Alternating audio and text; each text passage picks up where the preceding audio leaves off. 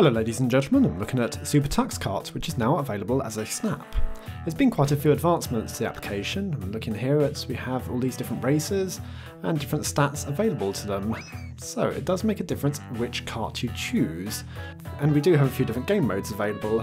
Three Strikes Battle, Soccer, Ghost Race, Normal Race, and Story Mode. I've opted to take a look at a brand new track here called Candela City. And I have to say the graphics are much of an improvement over what I have seen before. Quite impressive for a free open source game. I'm really happy that Super Tux Kart is now available as a snap because it was getting quite difficult to find a decent copy on a third party PPA or even a repository that was maintained by the team. Couldn't find anything, so it kind of led to me having to compile the game a couple of times. I know perhaps in distributions like Arch you may have had a more up-to-date copy, not so in Ubuntu, but happily we do now with snaps. One little catch though with a snap is that you have to connect a joystick manually.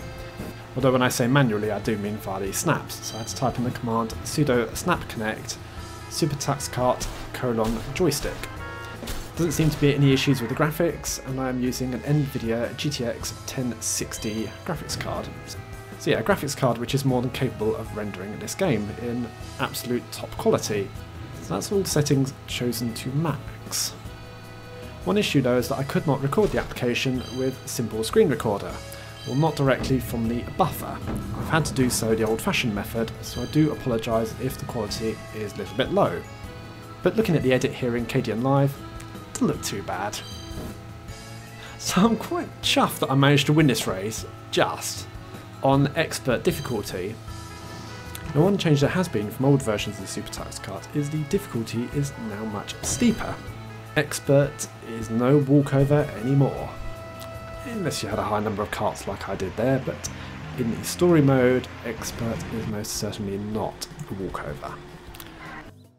I had to do a few levels here in story mode as intermediate, because I ended up nearly launching the controller at my screen due to frustration. Yes, acting like a small child still. well, maybe I'll grow up at some point. There's not much to do in this pyramid stage, so I'll just move on to the next one, because this has been uh, another one with uh, a few changes to the race. It's what used to be the barnyard lap. Forgot what it's called now. So yeah, I know I'm making it look a bit easy here, because, well, intermediate mode still is quite easy for me. It's just the step up to advanced mode is a lot steeper. Another track with some graphical improvements, undersea subsea. Yeah, very fancy, very fancy indeed. I think this is a new animation when you complete the Grand Prix. A few little graphical touches here, make it look a bit fancier.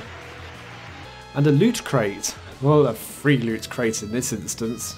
You don't have to gamble for these. No such thing as freemium here, just free open source. This is the first time trying one of these battle modes.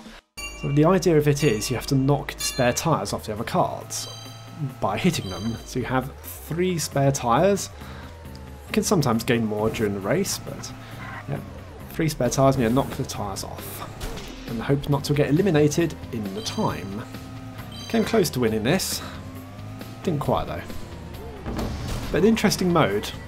It kind of reminds me back to the old days of uh, Super Mario Kart on the Super Nintendo. It had a little battle mode on there. In fact, I enjoy this a lot more.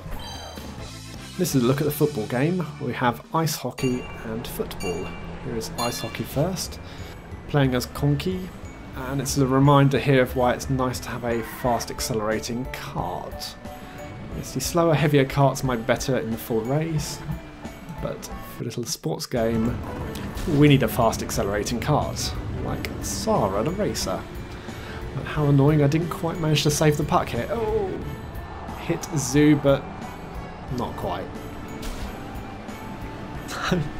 it's just a bit of carnage really. I'm not sure the AI was that good at the ice hockey game, but I don't know, maybe it was just my imagination. This is the first time I played this one. I played the football one briefly, which we'll take a look at now. oh boy, a few moments of frustration here I couldn't quite get the ball into the net. hey, let's not have any comments about girls playing football or soccer. No, no, didn't say anything at all.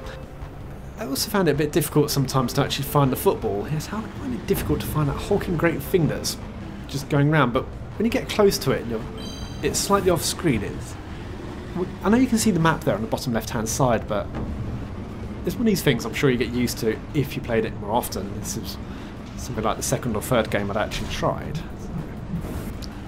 lessons to be learned. That was a look at Super Tux Kart as a snap. Thanks for watching. See you all later.